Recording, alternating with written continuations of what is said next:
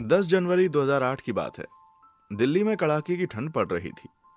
हर किसी को इंतज़ार था कि प्रगति मैदान में चल रही दिल्ली ऑटो एक्सपो में टाटा मोटर्स क्या प्रदर्शित करने वाली है। टाटा मोटर्स के पास सूमो, उसियारा, सफारी जैसी शक्तिशाली एसयूवी, इंडिका, इंडिगो जैसी कार्स थी, लेकिन 10 जनवरी उम्मीदों से भरा दिन था।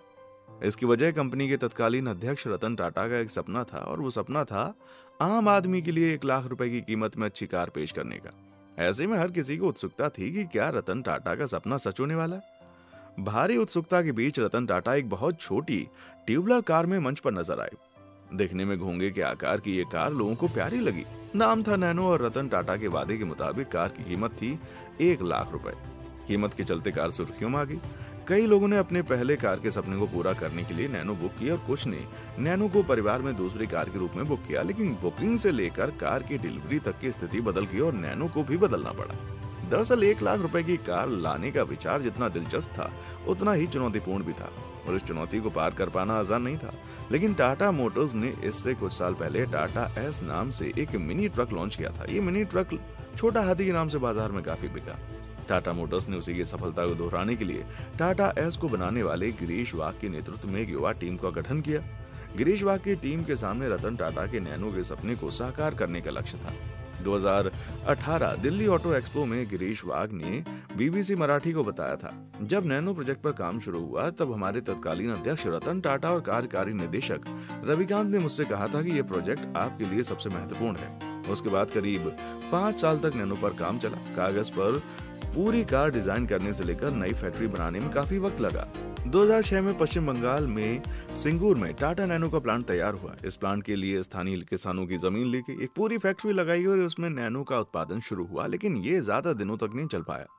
तब विपक्ष में रही ममता बनर्जी के नेतृत्व में किसानों के तीव्र आंदोलन के चलते काम रुक गया। अंततः विरोध और कर्मचारियों पर खतरे की आशंका को देखते हुए टाटा मोटर्स ने सितंबर 2008 में सिंगूर प्लांट बंद कर दिया और एक नए स्थान की तलाश शुरू की। तब नरेंद्र मोदी गुजरात के मुख्यमंत्री हुआ करते थे। उन्होंने टाटा से नैनो की फैक्ट्री को गुजरात के साड़ंद लाने का ऑफ़र किया।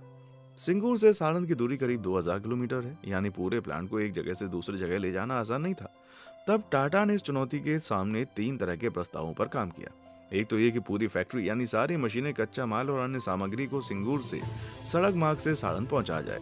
दूसरा प्रस्ताव यह था कि उत्तराखंड के पंतनगर और महाराष्ट्र के पुणे में टाटा के अन्य कारखानों में अस्थायी निर्माण व्यवस्था की जाए ताकि नैनो का उत्पादन जारी रहे और बुकिंग के अनुसार कारें जनता तक पहुँचे। और तीसरा प्रस्ताव था कि पूरी फैक्ट्री को फिर से साणंद में लगाया जाए और उत्पादन शुरू हो। कंपनी को सिंगूर से साणंद लाने में कुल तैतीस ट्रक लगभग चार सौ पंचानवे कंटेनर और सात महीने का समय लगा। 1800 करोड़ रुपए का कारखाना आखिर में साणंद पहुँच गया। सिंगूर में उत्पादन बंद होने के 14 महीने बाद नवंबर 2009 में गुजरात में कार का उत्पादन शुरू हुआ। नैनो को Indian car of the year 2009 से सम्मानित किया गया था। लॉन्चिंग के समय नैनो ने दुनिया की सबसे सस्ती कार के रूप में अंतर्राष्ट्रीय सुर्खियाँ बटोरी थी। कार के इंटरनेशनल बाज़ार में नैनो को वैसी चर्चा मिली थी जैसी चर्चा 1930 के दशक में फोक्स बीटल और 1950 के दशक में फिएट 500 को मिली थी। महज एक लाख रुपए की कार के लिए हर कोई बुकिंग चाह रहा था। लोगों के आवेदनों के बाद लकी ड्रॉ के ज़रिए लोगों तक कार पहुँचने लगी, लेकिन शुरुआती कुछ मॉडल्स को छोड़कर नैनो की कीमत को लंबे समय तक एक लाख रुपए रखना संभव नहीं हो पाया। क्यों फेल हुई नैनो? रतन टाटा के वादे के बाद और कार की लॉन्चिंग के बाद चार पाँच साल के दौरान कच्चे माल की कीमतों में काफ़ी इजाफा हो गया। इसलिए टाटा मोटर्स ने कार के दाम बढ़ा दिए। इस बढ़ोतरी के कारण नैनो मारुति 800 और मारुति ऑल्टो की तुलना में बहुत सस्ती नहीं रह गई। इसके चलते लोगों का झुकाव फिर से मारुति की कारों की तरफ़ हो गया। इसकी एक बड़ी वजह नैनो की गुणवत्ता से जुड़ी खामियाँ भी थी, जो लोगों ने शुरुआती डिलीवरी में देरी के बाद देखी। पहले मॉडल में ट्रंक की कमी थी, इंजन शोर भी करता था और अंदर लगे प्लास्टिक बहुत कमज़ोर थे। टाटा नैनो की साख पर सबसे बड़ा सवाल 2014 में तब लगा जब कार की सुरक्षा रेटिंग देने वाले ग्लोबल एनसीपी ने इसे ज़ीरो स्टार दिया। कुछ कारों में आग लगने के कारण भी इसकी साख खराब हो चुकी थी, लेकिन ज़ीरो रेटिंग के बाद भी सैकड़ों लोगों ने अपनी बुकिंग रद्द कर दी। दूसरी तरफ़ टाटा मोटर्स ने बाज़ार में इस ब्रांड को बचाने के लिए नैनो ट्विस्ट और जेन एक्स नैनो जैसे नए मॉडल को पेश किया, जिसमें ट्रंक के साथ नई ए एम टी गियरबॉक्स तकनीक थी। साथ ही इसमें सी एन जी का ऑप्शन भी दिया गया, लेकिन इन सब के बावजूद नैनो की बिक्री बढ़ी नहीं। बाद में रतन टाटा ने खुद स्वीकार किया कि नैनो की मार्केटिंग फेल हो गई थी। 2012 में अपने एक इंटरव्यू में रतन टाटा ने कहा था, नैनो का मकसद दुनिया की सबसे सस्ती कार बनाना नहीं था। हम एक ऐसी कार चाहते थे जो किफायती हो और लोग उसकी सराहना करें। टाटा नैनो का अंत और पुनर्जन्म। टाटा मोटर्स ने शुरुआत में प्रतिवर्ष तीन लाख नैनो की बिक्री का लक्ष्य रखा, लेकिन कंपनी इस लक्ष्य को कभी हासिल नहीं कर पाई। टाटा समूह की कमान जब सायरस मिस्त्री को मिली तो उन्होंने सबसे पहले टाटा समूह में घाटे में चल रही परियोजनाओं को बंद करने की सलाह दी।